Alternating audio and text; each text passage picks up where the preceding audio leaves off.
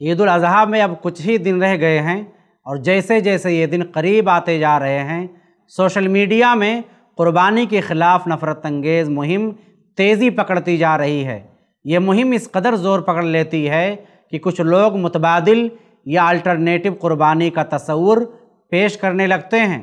Social media पर इस वक्त मुसलमानों को इको फ्रेंडली यानी जानवरों के बजाय केक काट कर ईद मनाने की सलाह देने की मुहिम ज़ोरों पर है। अकलीती फ़िरक़े से शाकाहारी बनने की अपील कर रहे हैं। इसी हैशटैग से ट्वीट करते हुए डॉक्टर मेराज हुसैन, जो कि पॉलिटिकल एनालिस्ट हैं, उन्होंने ट्वीट किया और कहा कि जो देश बीफ एक्सपोर्ट के मामले में दुनिया में टॉप देशों में शामिल हो, जहाँ सत्तर फ़ीसद लोग मांसाहारी हों, वहाँ पेट में दर्द सिर्फ़ बकरीद के दिन हो तो समझ जाइएगा कि नफरती लोग जीव हत्या पर चिंतित नहीं।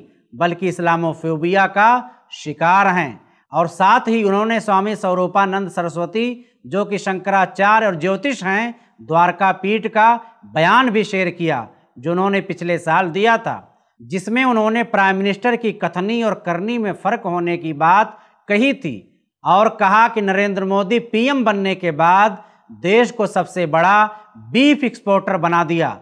फिर भी लोग उनकी तारीफ़ करते, थकते नहीं हैं। और कहते हैं, मोदी है तो मुमकिन है। देश में अक्सर लोग नॉनवेज खाते हैं, लेकिन फिर लोग इस्लाम से बुग्ज रखते हुए इस्लाम को बदनाम करने की साजिश करते हैं। ऐसे लोगों के लिए ये खबर मुँह पर तमाचा है। ऐसे ही और वीडियोस बनाने में हमारी मदद करें।